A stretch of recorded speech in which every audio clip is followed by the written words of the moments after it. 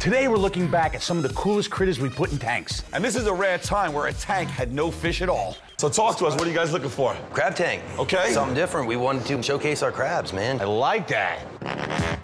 John and Mark own Crab Corner here in Vegas. They're both Maryland-born boys.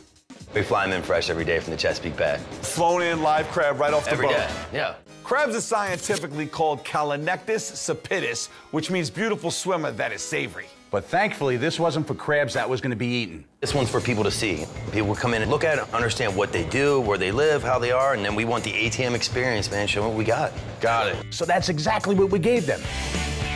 The boat-shaped acrylic tank was docked on top of a stand, concealing the filtration.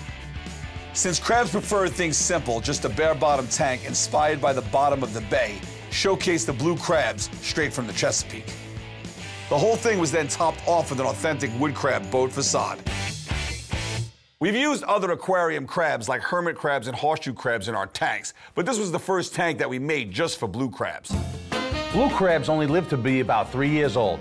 But in that time, the female can lay over 8 million eggs. No wonder there's over 550 million crabs in the Chesapeake Bay. Like all crabs, blue crabs have a hard exoskeleton that doesn't grow. That means a few times throughout a crab's life, they have to shed their shells when they grow out of them. When it's time, they remove their current shell, pull in as much water as possible for a few hours, then start to grow their new shell. When they're in their in-between stage, they're known as soft-shell crab. The stage doesn't last very long. Within 12 hours, they get a completely new shell that hardens within three days.